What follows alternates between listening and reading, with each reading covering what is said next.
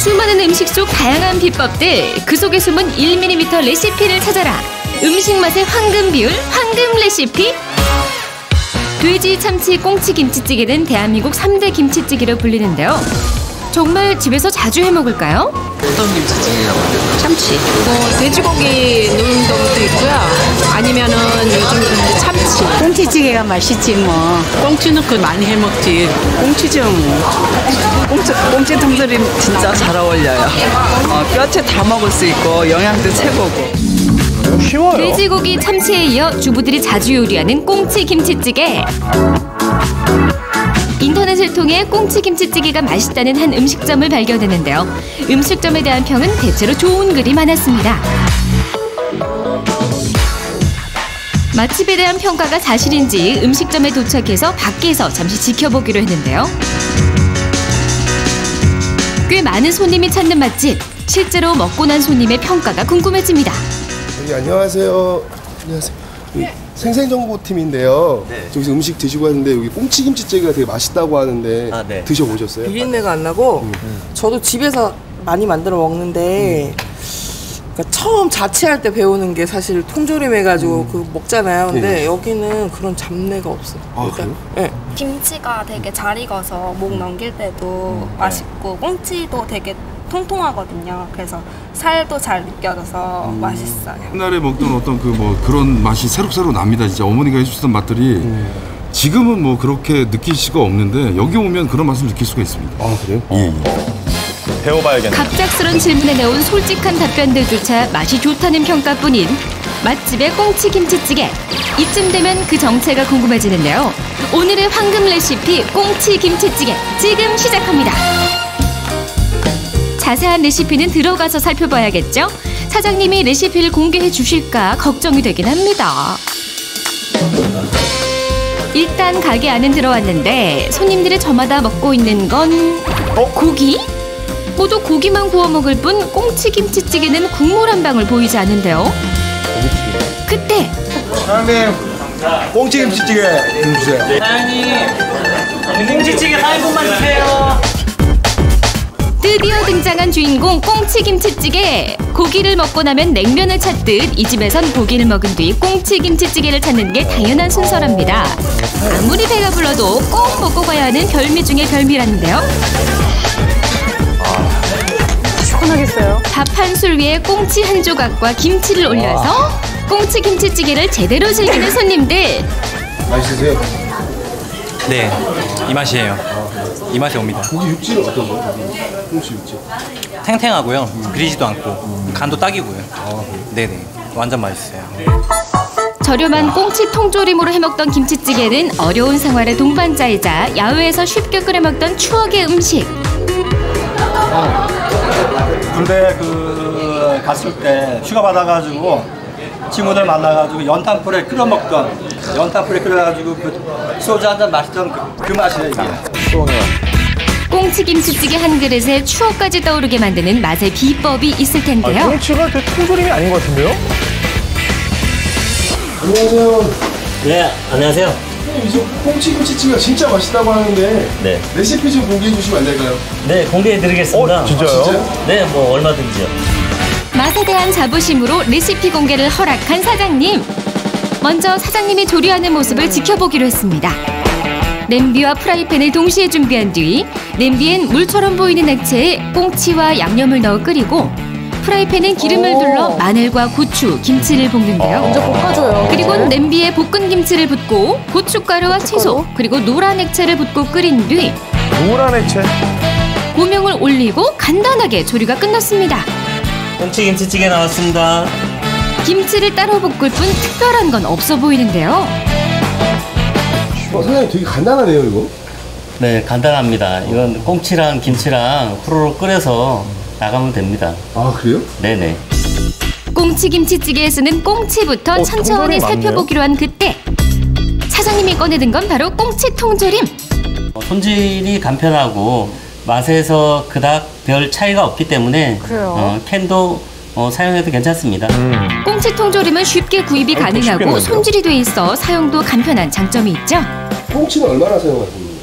음, 2인분 기준으로 이한 캔 정도 쓰시면 어, 충분히 먹을 수 있는 양입니다. 통조림 뚜껑은 조심히 딴 후 안에 액체는 사용하지 않고 버리는데요. 그리곤 접시에 내용물을 옮겨 담는 사장님. 대부분 통조림은 뚜껑을 따자마자 유리에 사용하는데 접시에 따로 옮겨 담는 이유가 있나요? 공장에서 통조림을 만들 때 안에 내용물을 넣고 난 다음에 바로 뜨거운 것을 닫는 그런 성분이 있습니다. 그렇기 때문에 그 안에는 퓨란이라는 그 휘발성 물질이 발생을 하는데요. 그렇기 때문에 저희가. 통조림을 따고 나면은 10분에서 15분 정도 그냥 두거나 아니면 다른 곳에 옮겼다가 사용하시는 것이 가장 오. 안전하게 먹는 방법이기도 합니다. 꽁치는 15분간 공기 중에 휘발성 물질이 날아가도록 두세요. 15분이 지나고 이제 꽁치를 끓이나 했는데 체에 맞힌 꽁치 위에 물을 붓는 사장님. 뜨거운 물? 뭐 하시는 거예요 지금? 아, 꽁치에 뜨거운 물을 붓고 있습니다. 꽁치 통조림 쓰실 때 뜨거운 물로 한번 헹궈서 쓰세요. 참기름 아니야? 그냥 넣어요. 아닌 거요? 그냥 해요. 아 그냥 해야 돼?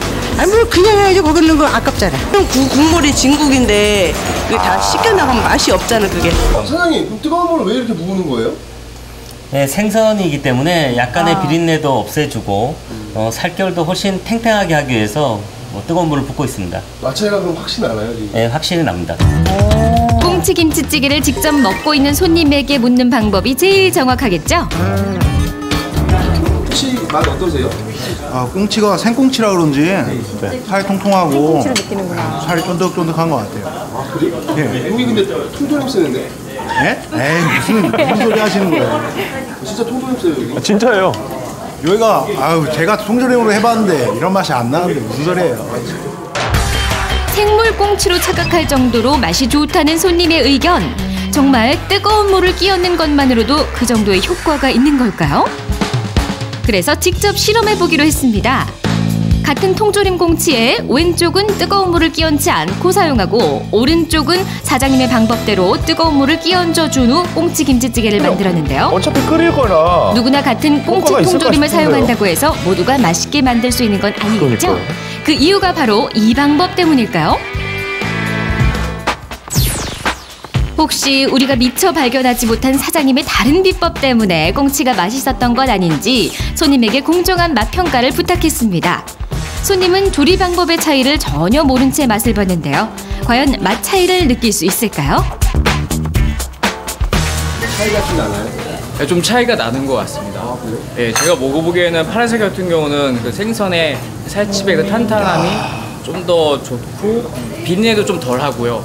노란색 같은 경우는 살집에 좀 탄탄함이 좀 덜해서 좀 흐물흐물한 점도 있고 생선의 비린내도 정확하게 좀 더 나서 제가 먹어보기에는 파란색이 좀 더 더 맛있는 것 같습니다. 통조림 꽁치에 뜨거운 물을 끼얹는 것만으로 맛 차이가 나는 이유는 뭔가요? 통조림에서 꺼낸 후에 체에 맞춰서 뜨거운 물을 한번 끼얹어 주면 단백질 생성이 되기 때문에 훨씬 더 살집이 단단할 뿐만 아니라 비린 맛이 완전하게 없어져 조리되기 때문에 훨씬 더 맛있는 꽁치 김치찌개를 드실 수가 있습니다. 실제로 뜨거운 물을 끼얹어 사용한 꽁치보다 뜨거운 물을 끼얹지 않은 꽁치가 살에 탄력이 없어서 훨씬 잘 부스러지는 게 보이시나요? 뜨거운 물 끼얹으니까 생꽁치. 꽁치 손질이 끝난 후 냄비에 물을 붓는 사장님. 이제 찌개를 끓일 건가요? 육수를 먼저 낼 겁니다. 아 육수요? 네네. 아 그럼 이제 육수에 물은 얼마나 들어가는 거예요? 2인분 기준으로 할때 아, 두 국자 정도 하시면 될 겁니다. 사장님의 두 국자 물량은 200cc 맥주컵 기준 6컵. 이제 각종 육수 재료들을 넣을 차례인데요. 아, 저 무슨 사장님이 뭐 넣는 재료를 보니까 머리가 집에서 있는데요? 흔히 쓰는 육수 재료를 사용하고 있었습니다. 모든 재료는 순서에 상관없이 한 번에 넣어주고요. 이제 끓일 차례. 음식을 만들 때 불 조절이 중요한 건 아시죠? 센 불로 어, 끓어오를 때까지 한번 우르르 끓으면 다시 한 오. 약불로 낮추셔서 한 20분 정도 끓이면 충분히 우러납니다. 센 불에서 끓이다가 육수가 부글부글 끓으면 약한 불로 낮춰서 20분간 은근하게 끓이면 됩니다. 20분이 지나면 불을 끈 뒤 육수 재료를 건져내주면 되는데요. 육수 재료를 말끔히 건져내면 꽁치 김치찌개의 깊은 맛을 내줄 육수가 완성됩니다. 완성된 육수는 총 맥주컵 4컵 분량 800cc가 나옵니다.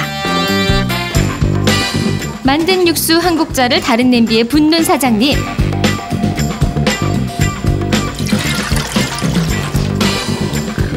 뜨거운 물을 끼얹어준 꽁치도 육수에 넣고 찌개를 끓일 준비를 하는데요. 그런데 기껏 만든 육수를 다 쓰지 않고 남겨둔 사장님. 이건 버리는 건가요? 이 찌개가 한 5분 정도 끓이다 보면 어, 국물이 많이 줄어듭니다. 그러면 어, 밸런스가 안 맞으니까 육수 한 컵 정도 남은 걸 마주 넣어주시면 아주 알맞게 예, 먹을 수 있을 것 같습니다. 그럼 총 800cc. 네네네. 그러니까 맥주컵 3컵 분량의 육수는 처음 끓일 때부터 사용하고 나머지 한컵 분량의 고추요. 육수는 나중에 넣는다는 건데요. 맥주컵 3컵의 육수만 붓고 꽁치와 간 마늘, 간 생강도 넣습니다. 그리고는 정체를 알 수 없는 투명한 액체 한 큰술도 넣는데요. 저거 맛술. 형 이거 뭐예요 지금 넣으신 거? 아 이건 화이트 와인입니다. 화이트 와인이요? 네. 이걸 왜 넣으시는 거예요? 아 이건 그 뭐 비법이란 비법인데 와인.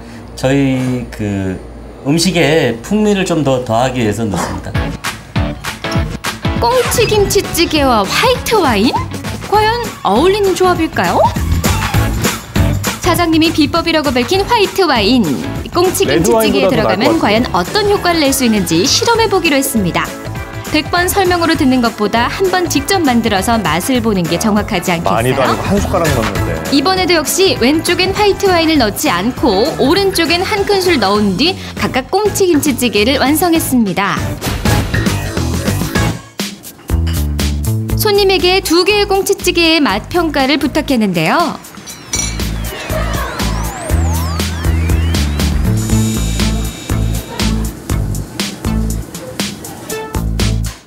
애매한 표정의 손님, 맛 차이가 느껴지지 않는 쉽지 않은 걸까요? 건데요. 음, 별 차이 없나요? 전 파란색이 사장님 만드신 것 같은 게 김치나 꽁치가 훨씬 식감이 살아있고요. 노란색도 맛있긴 한데 조금은 깊은 맛이 덜한 것 같아가지고 파란색을 선택하겠습니다. 미묘한 차이. 와인을 넣으니 더 깊은 맛이 난다는 의견. 왜 그런 거죠? 와인을 넣게 되면 전체적인 맛을 아우러지게 해주는 이런 역할을 하는데요. 그 이유는 뭐냐면 와인 속에 들어있는 알코올은 열을 가하면 휘발하는 성질을 가지고 있습니다. 그래서 휘발하는 과정에 뭐 비린내라든지 잔맛을 함께 그 휘발시켜주는 이런 역할을 합니다. 꽁치와 국물이 맛있다고 꽁치 김치찌개 전체가 다 맛이 좋은 건 아니죠. 뭐니 뭐니 해도 김치찌개의 핵심은 바로 김치. 김치가 아닐까요? 그럼요. 역시 많은 손님들이 꽁치 김치찌개의 김치를 맛있게 먹고 있었습니다. 김치찌개잖아요. 식당에서 먹는 김치찌개의 김치는 왠지 더 맛이 좋은 느낌 다들 경험해 보셨을 텐데요. 이곳의 김치 맛은 어떤지 손님에게 물어봤습니다.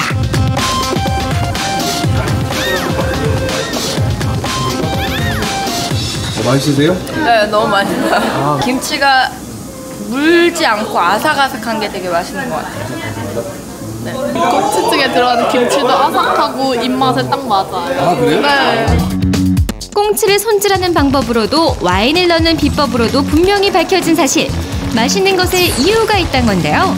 김치에도 그 이유가 분명 있을 겁니다. 다시 주방을 찾아서 사장님께 사용하는 김치 공개를 부탁했습니다. 냉장고에서 꺼낸 김치는 눈으로 봐도 살짝 색이 진하고 배추가 투명해진 모습이 푹 익은 김치 같아 보이는데요. 오래된 것 같은데요. 생김치는 아니고요. 2년 정도 묵힌 김치를 사용하고 있습니다. 2년이요? 네네. 묵힌 정도에 따라 구입이 가능한 묵은 김치. 제조 일자가 2013년 03월 되겠습니다. 하지만 일반 김치를 사용할 땐 어떡하죠? 좀 익힌 김치를 먹고자 할 때는 실온에다가 한 하루 이틀 정도 놔두면 어느 정도 먹기 좋게 숙성이 됩니다. 사장님 양은 얼마나 해야 돼요? 김치를 볶아도 2인분 기준으로 어 4분의 1 포기 정도면 적당할 것 같습니다. 4분의 1 포기? 네. 네, 이게 4분의 1 포기입니다. 김치는 2인 기준으로 4분의 1 포기를 준비하고 뿌리 부분을 잘라내고 가장 먹기 좋은 크기인 4등분으로 잘라줍니다. 그리고는 프라이팬에 기름을 두르고 마늘과 고추를 볶는데요. 1분간 잘 익도록 볶는 사장님. 이유가 있나요? 마늘하고 청양고추를 왜 볶으시는 거예요? 아, 마늘과 고추의 성분을 더 극대화시키기 위해서. 아 그래요? 네. 마늘과 고추를 볶은 기름에 김치를 넣는 사장님. 김치도 볶아서 사용하는군데요. 그러고 보니 이 장면 지난 김치찌개 방송 때도 김치를 돼지비계로 낸 기름에 볶아서 사용했었죠. 같은 듯 다른 레시피.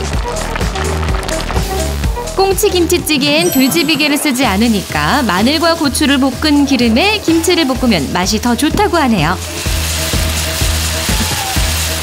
김치 볶을 때는 센 불로 한 3분 정도 어, 적절히 조정하시면서 볶- 볶으시면 되겠습니다. 네네. 마늘과 고추를 볶는 시간을 포함해 3분간 볶은 김치는 육수와 꽁치가 끓어오르면 넣어주는데요. 청양고춧가루 반 큰술과 일반 고춧가루 한 큰술도 김치와 같이 넣어주세요. 센 불에서 5분간 끓이다 보면 어느 정도 국물량이 줄어든 게 보이실 거예요. 이때 채썬 그렇죠. 양파와 육수 한 컵을 마저 부어주면 됩니다. 아까 남겨둔 한 컵. 육수 총 4컵 중 남겨둔 한 컵을 이때 사용하시는 거예요. 양파와 육수를 넣고 조금 더 끓인 후 다른 대파를 마지막으로 올리는 사장님. 한 2분 정도 더 끓인 다음에 대파로 고명을 올리시면 마무리가 되겠습니다. 꽁치도 김치도 국물까지도 맛있는 꽁치 김치찌개 드디어 완성! 꽁치 김치찌개를 만드는 황금 레시피 복습할 준비 되셨죠? 먼저 육수를 낼 재료를 준비해 볼까요? 다시마는 한 장, 크기를 재보니 천 원 지폐 크기네요. 친절한데요? 국물용 마른 멸치는 10마리고요. 10마리나. 건새우는 두 큰술 준비해 주세요. 육수에 사용할 물은 200cc 맥주컵 기준 6컵을 사용합니다. 냄비에 분량의 물을 붓고 황태머리 1개, 무는 약 50g 한 토막, 대파 반 개, 양파 4분의 1개, 미리 양을 재둔 건새우와 육수용 멸치도 넣어주세요. 다시마도 넣고 월계 수잎 두 개도 넣은 후 센 불에서 물이 부글부글 끓어오르면 약한 불로 줄여서 20분간 끓입니다. 다 끓인 후에 건더기를 건져내면 깊은 맛을 내줄 육수가 완성! 이제 찌개에 들어갈 재료를 준비할 거예요. 먼저 2인 기준 꽁치 통조림 한 캔을 준비합니다. 뚜껑을 조심히 딴 뒤 통조림 안의 액체는 따라내 버리고 꽁치는 다른 그릇으로 옮겨 휘발성 물질이 날아가도록 15분간 방치해 주세요. 그리고 체에 받친 꽁치에 뜨거운 물을 두세 번 끼얹어 줍니다. 김치는 2년 된 묵은 김치를 준비하는데요. 덜 익은 김치를 사용하려면 실온에서 하루 숙성시켜서 사용하세요. 김치는 4분의 1 포기를 4등분으로 자르고 올리브유 두 큰술을 두른 팬에 마늘과 청양고추 두 개를 잘라 1분간 볶은 후 김치를 넣고 센 불에서 2분간 볶아줍니다. 만든 육수 4컵 중 3컵만 먼저 사용하는 거 잊지 마세요. 육수 3컵을 냄비에 붓고 뜨거운 물을 끼얹었던 꽁치와 간마늘 반 큰술, 간생강 3분의 1 큰술, 화이트 와인 한 큰술을 넣고 센 불에서 끓입니다. 화이트 와인 대신 레드 와인도 괜찮아요. 끓어오르면 볶아둔 김치를 넣고 청양고추 반 큰술과 고춧가루 한 큰술을 넣고 5분간 끓여주세요. 5분 뒤에 채썬 양파 4분의 1개와 남은 육수 한 컵을 넣고 2분간 더 끓인 후 대파 약간을 고명으로 올리면 꽁치 김치찌개가 완성됩니다. 먹다 보면 어느새 밥 한 그릇 뚝딱인 황금 레시피표 꽁치 김치찌개. 어때요? 맛있어 보이나요? 여느 때와 달리 능숙한 솜씨를 뽐내는 수혁 PD. 조리 과정은 실수 없이 무난히 넘어갔는데요. 과연 맛도 괜찮을까요?